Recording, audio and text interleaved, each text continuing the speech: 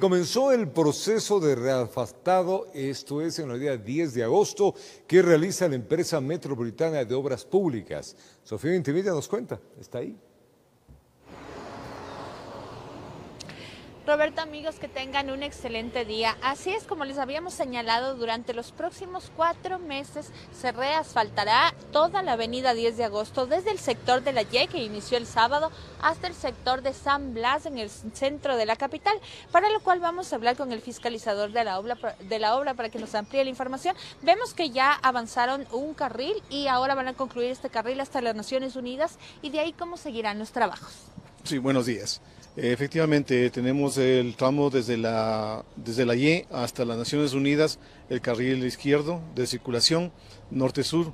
Eh, avanzaremos eh, hoy día a cerrar el carril derecho. Con eso tendríamos avanzado hasta las Naciones Unidas.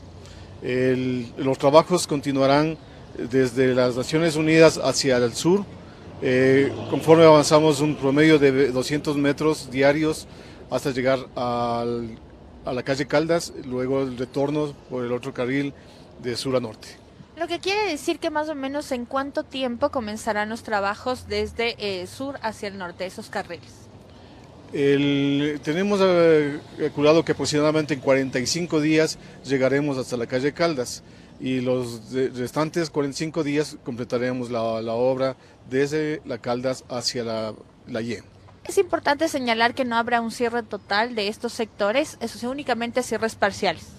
Efectivamente, no hay un cierre eh, total de, la calzada de circulación. Siempre dejaremos un carril para que la, movilidad sea, aunque sea un poquito pesada, pero sea continua.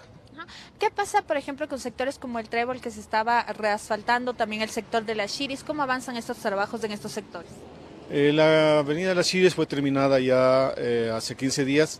están continuando en el Trébol la Velasco Ibarra y así programamos, programamos todas las intervenciones eh, en el 10 de agosto. Em, ¿El sector del Trébol cuándo concluirá?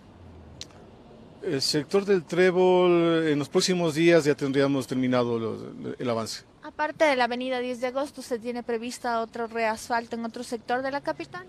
Eh, por el momento se este, está iniciando solamente en el 10 de agosto. Le agradecemos entonces infinitamente. Como ustedes pueden ver, hay mucha gravilla, así que tomen las debidas precauciones.